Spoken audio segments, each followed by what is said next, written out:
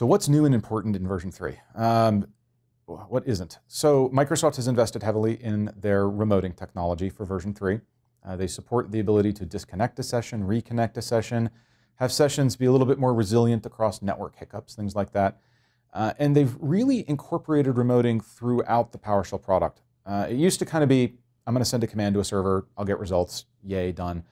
But it's a lot more intense than that now. I can sit on my computer and use a GUI that's really just using remoting to send commands to a server to bring results back to draw icons or whatever else. So the idea of having to install admin tools on your computer kind of goes away. You don't need to remote desktop into the server either.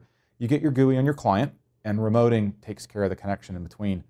Uh, remoting plays into workflow too, which is, I think, a major feature that people are going to overlook because it's going to seem kind of, I don't know, maybe it's going to seem complicated or why do I care?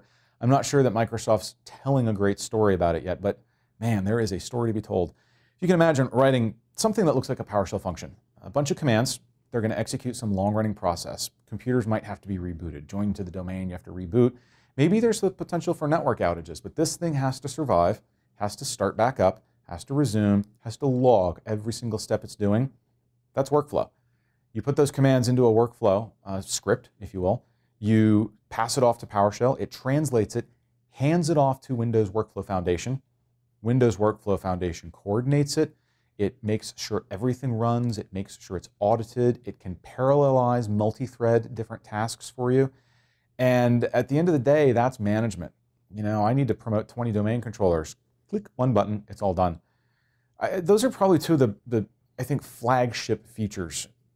There's more. You know, the, the integrated scripting environment, the ISE, I think this is the first time Microsoft has given us a tool that makes me wonder if I really need to buy a third-party commercial script editor. They're just putting out a great product and it works well. It's pretty speedy and it's extensible through a public API. So if there's some feature it doesn't have, I, my fellow MVPs will probably have that feature worked out in a couple of days, uh, and, and you can add into it. There's a lot in version 3. There's a lot worth looking at. Um, flagship features are, are, definitely there. They're definitely great. Ton of just minor improvements and investments that are going to make things so much better for, for everybody who uses the shell.